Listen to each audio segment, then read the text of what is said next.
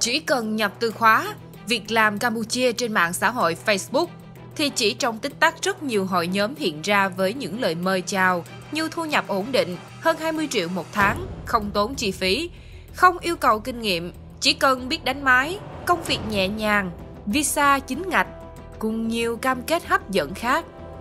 Tin vào điều này, không cần xác minh, nhiều thanh niên đã trốn gia đình, liên lạc với các tổ chức cá nhân trên mạng xã hội, để rồi bị bọn lừa đảo sử dụng nhiều cách đưa họ vượt biên sang Campuchia bằng cả đường chính ngạch hoặc nhập cảnh trái phép.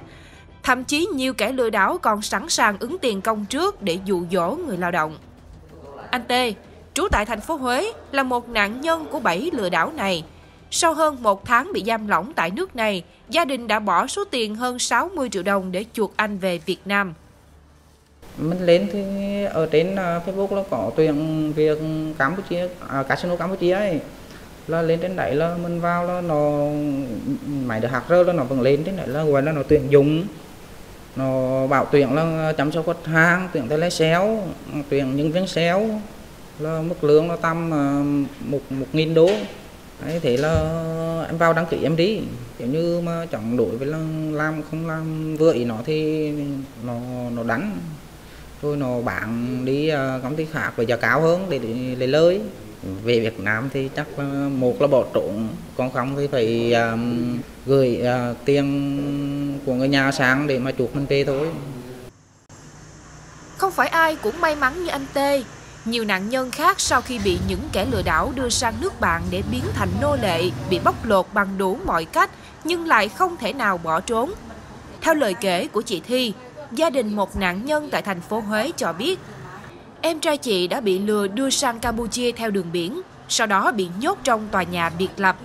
Ngoài em trai chị còn có rất nhiều nạn nhân khác là người Việt Nam. Mỗi ngày, các nạn nhân phải làm việc liên tục từ 15 đến 16 tiếng một ngày, bị quản lý công ty đánh đập. Sau hơn một tháng, em trai chị Thi không chịu được nữa xin nghỉ, thì công ty yêu cầu phải trả hơn 90 triệu đồng gọi là tiền chi phí và bồi thường hợp đồng lao động. Hết cách, nạn nhân phải liên lạc về gia đình, chuyển tiền sang Campuchia chuộc đưa người về Việt Nam. Quá tới à, bên nữa là tầm 2 ngày là đi đi đường vực à, đi đường à, biển. Rồi quá tới là ngày đầu tiên là hàng cho nghỉ ngơi tới má lái là bắt đầu hàng cho làm ở trong công ty. Thì tới một lại là bắt đầu hàng bạn của nó chụp cái khu nữa khu nữa nghe nói bên nữa là nguyên cái khu người Việt Nam mình bị bạn qua. Qua bên nữa thì hàng bắt lâm game đó làm ngồi máy tính thôi phải là lừa khách tạo tài khoản để mà vô chơi. Ví dụ giống như một ngày là như là hàng bắc là lừa hai ba khách gì đó thì tầm một tiền đó mình phải lừa được chân nữa. Còn nếu như mà không lừa được thì ờ, hẳn nhục lan đập đánh. Theo thông tin từ Phòng Cảnh sát Hình sự Công an tỉnh, đơn vị đã tiếp nhận hơn 10 đơn trình báo của người dân liên quan đến việc con em mình bị lừa đưa sang Campuchia làm việc trái phép.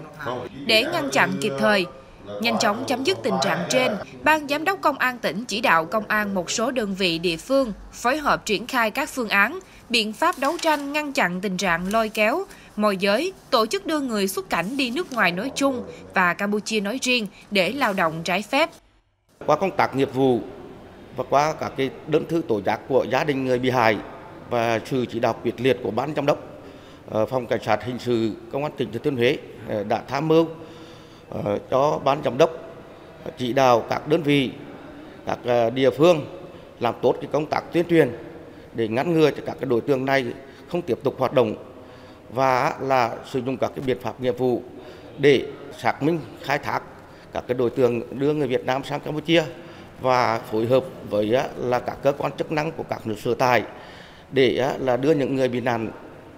nạn nhân này ờ, trở về với Việt Nam an toàn ở trong thời gian tới.